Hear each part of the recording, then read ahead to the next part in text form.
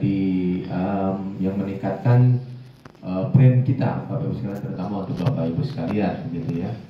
Nah, jadi dengan kita mengikuti uh, apa namanya pelatihan digital marketing ini sebetulnya tidak hanya berorientasi kepada yang bersifat bisnis ya, betul ya betul ya. Menggunakan media digital gitu kan atau marketing ini ya kita bisa mendakwahkan atau memasarkan ya hasil dakwah kita atau catatan-catatan kita gitu ya. Makanya kemudian bapak ibu sekalian kan sering tuh mendapatkan apa namanya broadcast ya. Broadcast gitu tentang ucapan selamat pagi dan segala macam. Nah ternyata bapak ibu sekalian itu itu menghasilkan uang itu.